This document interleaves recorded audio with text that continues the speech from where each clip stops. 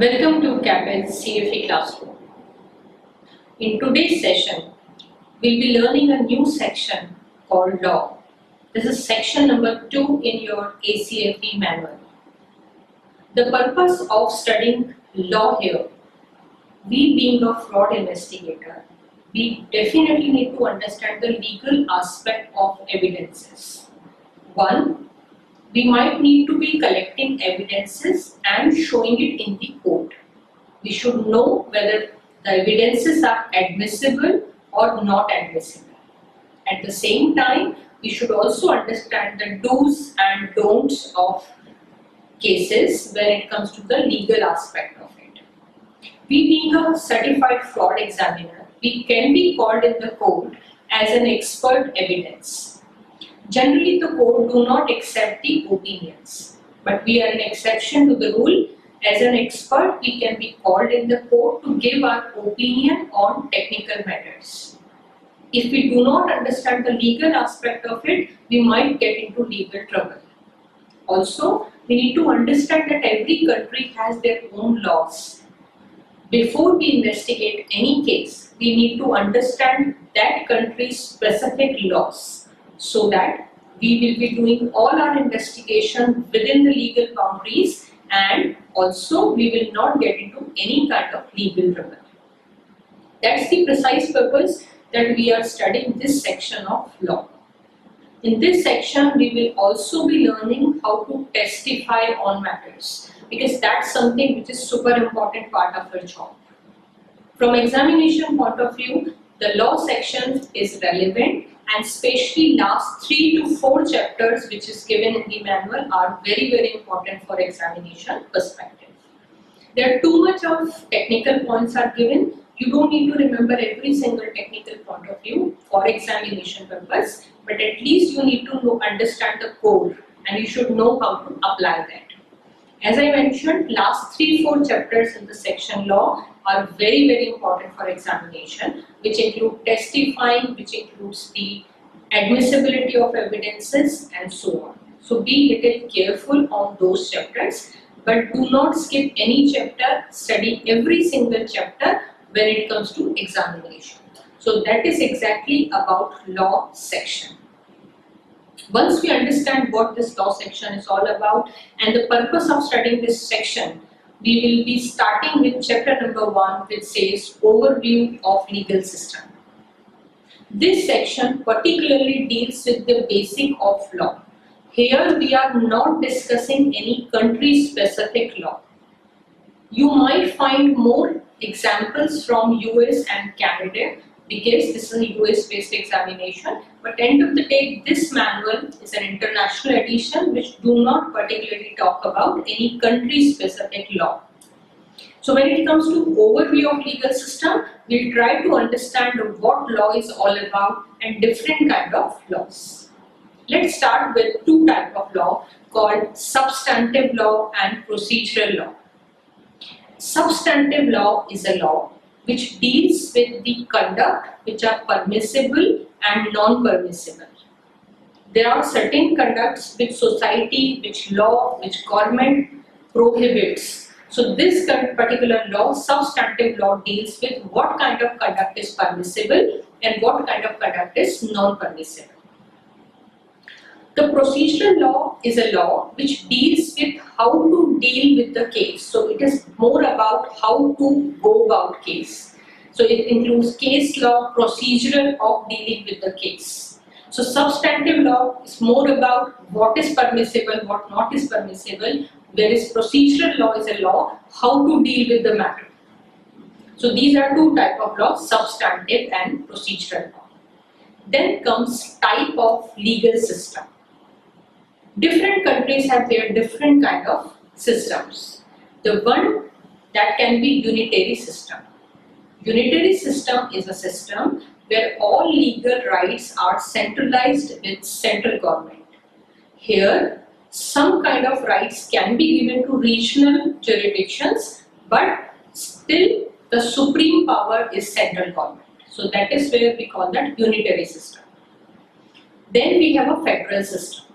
The federal system is a system where the federal or the central government has certain power and then we have autonomous regional bodies also.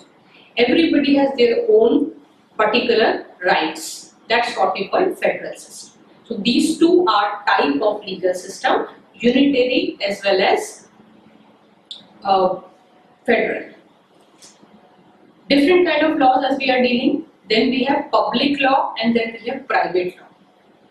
Public law is a law which deals with the relationship of government and an individual. It includes all kind of laws such as criminal law, the law which deals with the government and the individual. The private laws are the laws which are dealing with the relationship of two individuals such as all kind of civil laws, all kind of property disputes, all kind of will related issues, all these issues covers under private laws.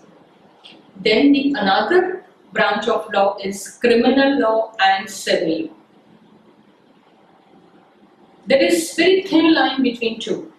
The criminal law is a law which deals with those cases which are prohibited by law or society such as murder, such as burglary, such as robbery and so on.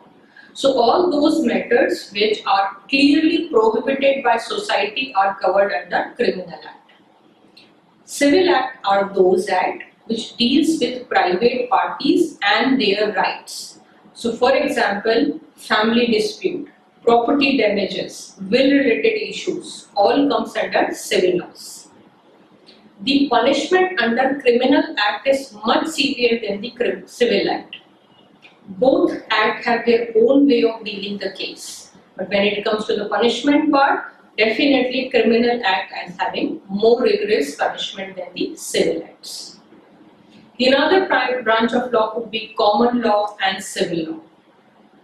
Common law is a law which is being decided by judge on case-to-case -case basis. So every time they hear a case, they decide something on it and that becomes a common law. We call them case studies also. Civil law is a law which is case-to-case basis. So every time a case comes, it will be dealt with it. We call that civil law. So that is about common law and civil law. Now we broadly understand there are different kind of laws and then come inquisitorial process and substantive process. Inqui sorry, adversarial and inquisitorial. Adversarial process is a process where the evidence collection will be done by the parties involved. So if X and Y are having some kind of dispute, both the parties will be collecting their respective evidences to prove or disapprove a fact we call that adversarial process. When it comes to inquisitorial process, is the process under which the evidence will be collected by judge. Not literally by judge, but by his team. So more or less the cases which are actually dealing with individual and state, in those cases probably inquisitorial process will be followed. In nutshell, this is all about this first chapter which says overview of legal system. So we try to understand what kind of legal systems do we have and what does it has in store for us. Then the question arises as to which country's law will be applicable when there will be dispute between parties. Now it entirely depends on many many factors. If both the parties are having any kind of contract it will be clearly written in the contract that in order to have any dispute solved, how to deal with it, which country's law will be applicable if parties will be having any kind of dispute with each other. If there is no contract or the contract is silent about jurisdiction, in those cases there are different rules applicable. For example, the place where party resides the, that country's law can be applicable. Second rule can be the parties, the place where the parties used to reside, the place where parties are presently residing, the parties where the head office of the company is situated, or in some situation, if both the parties agree, they may select a jurisdiction and they can go for that particular jurisdiction too. So it entirely depends on case to case, but to be on the safer side, it needs to be always written beforehand only that if there will be any dispute, which country's law will be applicable. In that case, things will be much, much simplified. So in nutshell, that was all about chapter number one, overview of legal system. What is more important from this chapter for examination, they in examination they may be asking questions about what is substantive law, what is procedural law and so on. So the law section is more about remembering. When it comes to examination, they check more on your remembering skills for first few chapters. The later chapters, as I said, the last few chapters, here they check your conceptual clarity. So accordingly, please prepare for your exam.